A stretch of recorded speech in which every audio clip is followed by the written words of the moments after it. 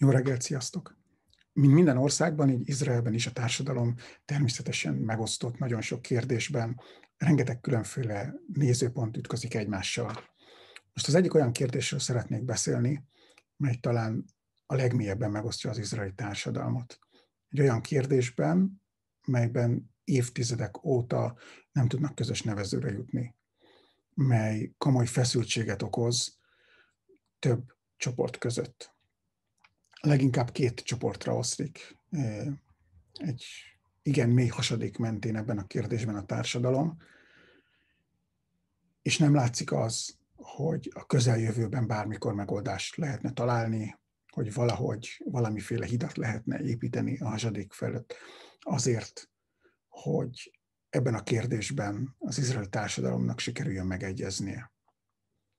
Ez a komoly konfliktus, egy igen mély törésvonal az izraeli társadalomban, és egészen gyerekkortól kezdve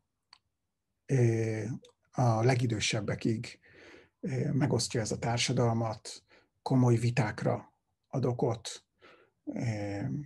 mint társadalmi vitákra, mint politikai vitákra, talán, talán még gazdasági vitákra is, bár ebben nem vagyok biztos. Szeretnélek most megismerkedni titeket.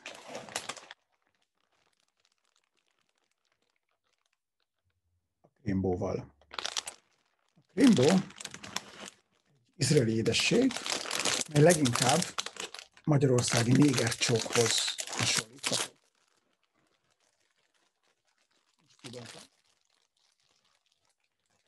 A krémbó általában vagy egyesével, vagy ilyen nyolcas csomagokban érkezik. És abban különbözik a magyarországi négercsoktól, hogy sokkal kevésbé krémes. Ennek a belsejében leginkább csak tojás van. De kinézetre nagyon-nagyon hasonló. Tehát alul ostya, fölötte pedig tojáshab, és a tojáshab körül csokoládé. Meg is kóstolok egyet.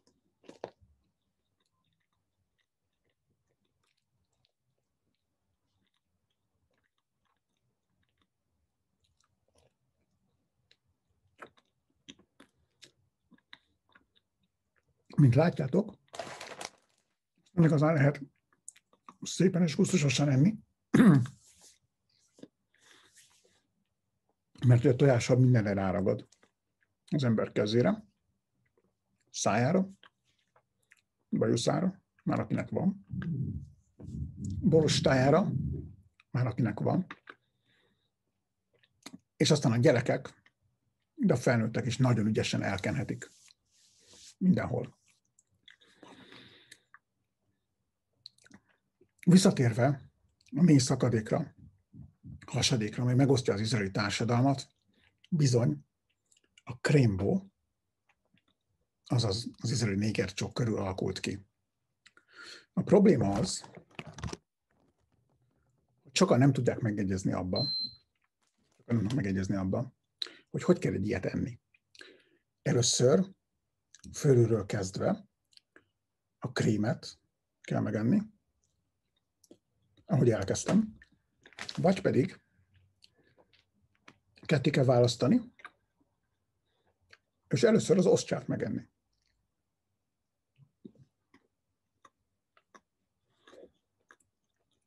Finom. Rengeteg koleszteron a tojás miatt. A másik lehetőség, mint mondottam, hogy miután megesztjük az osztját, utána kezdünk neki a habnak, mert hogy így könnyebben ehető.